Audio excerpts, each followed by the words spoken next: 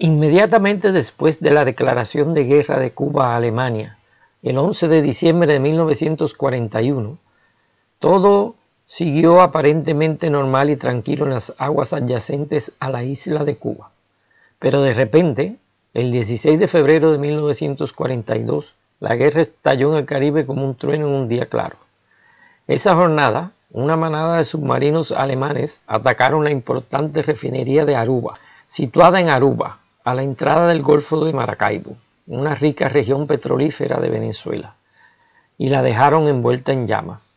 Se iniciaba así la operación Neuland, Tierra Nueva. Numerosos barcos petroleros fueron destruidos ese día.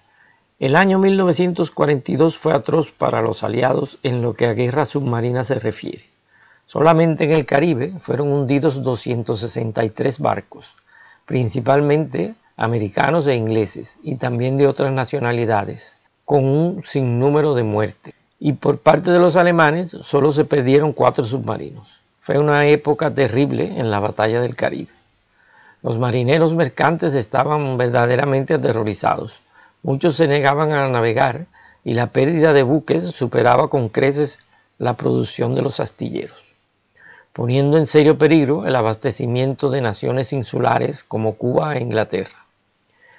Para tratar de remediar este desastre, los aliados tomaron medidas, tales como la organización de un sistema de convoyes.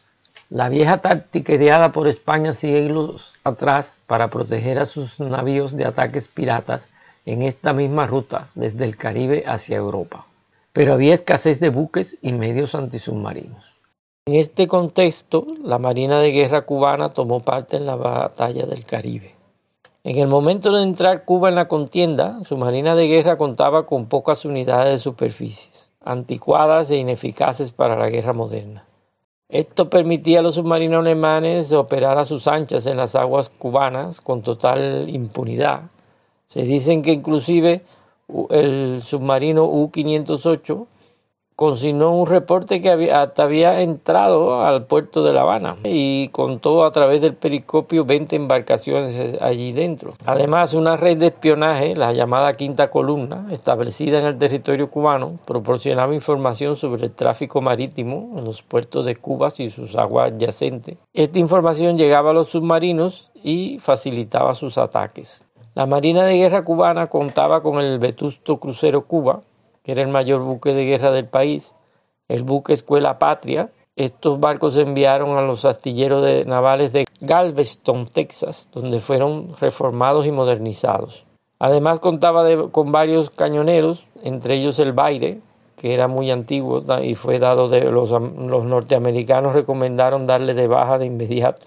Como parte de los convenios del Lend-Lease, los Estados Unidos transfirieron a la Marina de Guerra cubana en calidad de arriendo 12 cazas submarinos.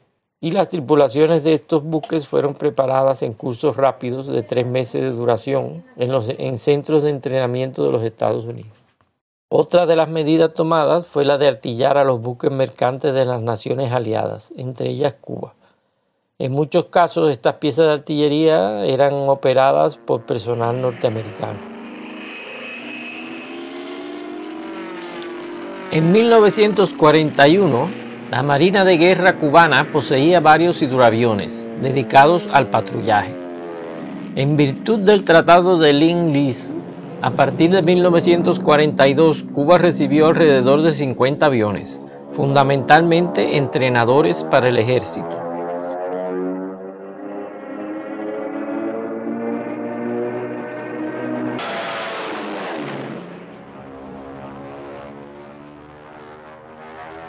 Antes de continuar, permitidme recordaros que mi libro El último pirata del Caribe está a la venta en Amazon, donde se relata de una forma novelada y amena la Segunda Guerra Mundial en el Caribe. No os lo perdáis.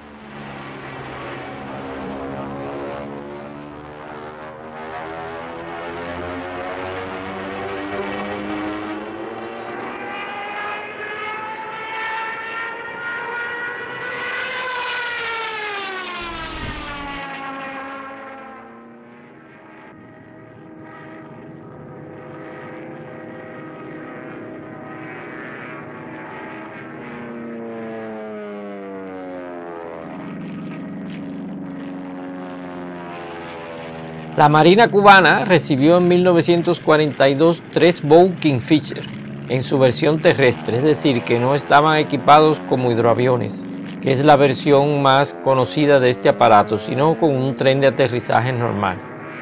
Se emplearon en patrullas antisubmarinas e iban armados con dos bombas de 54 kilogramos y una ametralladora calibre 30. Aquí vemos un ejemplar de estos aviones en el Museo de la Revolución de La Habana.